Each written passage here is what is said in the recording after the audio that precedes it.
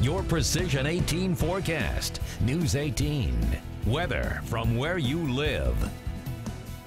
Well, the highest pollen levels of the year are coming in right now. This is courtesy of pollen.com. These are the forecasted pollen levels for the rest of the week. Now, today we are around 9.8 on a scale 0 to 12, but notice how we peak around about as bad as it gets on Thursday at 11.5. And this line here is the medium high line. Above that, it really starts to get uncomfortable for allergy sufferers. We start to knock it down a little bit by Friday and Saturday after some rain, but it's still pretty high. And the main culprit is oak pollen. Oaks and blossom right now, also mulberry, hickory, and walnut pollen.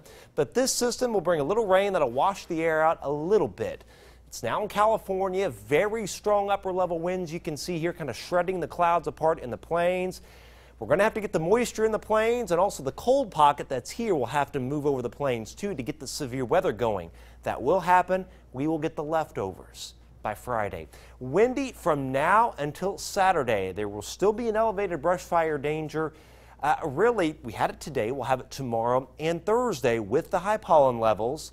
And then a few severe storms Friday, though nothing widespread, and perhaps a severe weather threat on Monday as well. Tonight, though, warmer than the 40s last night 53 Logansport, 58 Lafayette, and 60 at Covington. Tomorrow, a summer like day. Strong winds from the southwest, though, gusting over 35 miles an hour at times.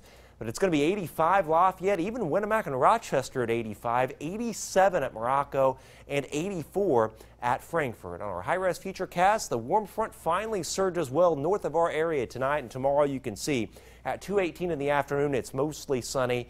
A couple of clouds tomorrow night, that is it. And notice even on Thursday, mostly sunny skies at 3:16 in the afternoon.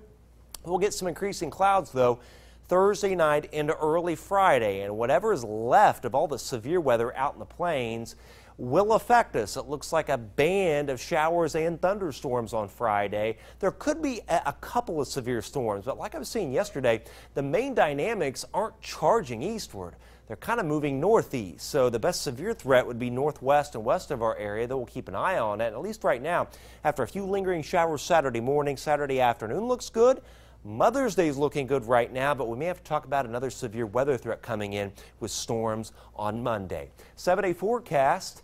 Showers and thunderstorms Friday, a couple lingering showers Saturday morning, 71 by afternoon, 70 on Mother's Day. Looks dry at least right now.